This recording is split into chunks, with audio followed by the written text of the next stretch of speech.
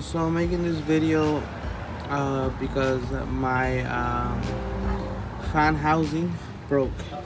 Broke here, there, there, and somewhere else. I don't know, everywhere. Uh, so pretty much this broke. This piece broke completely, and it went. This went flying everywhere, and only I can see it. The only damage I can see is it damaged the radiator and it cracked it. Right here, I think. Yep, right there, right there. It's all these places, it destroyed it.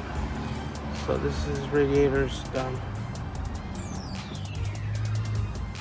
Um, oh yeah, it's here too. Yeah, here too. So I'm gonna replace it. My only question is, do I need to buy the whole set, or do I can I just buy the housing? That's gonna be my next uh, thing, and then I'll buy a new a new uh, fan so I can replace that. So we'll see how it goes. So after digging for a few hours online, AutoZone doesn't have it. O'Reilly's doesn't have it. The parts stores close by does have it, but it's gonna take a day and a half.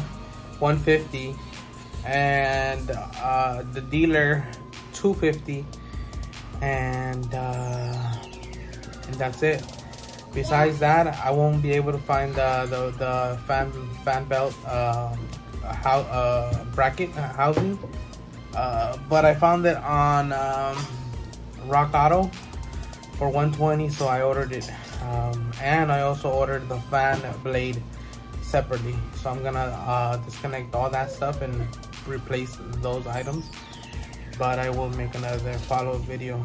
The order will be here by the 18th of next of next this month so it's gonna take a while. So I'll make another update video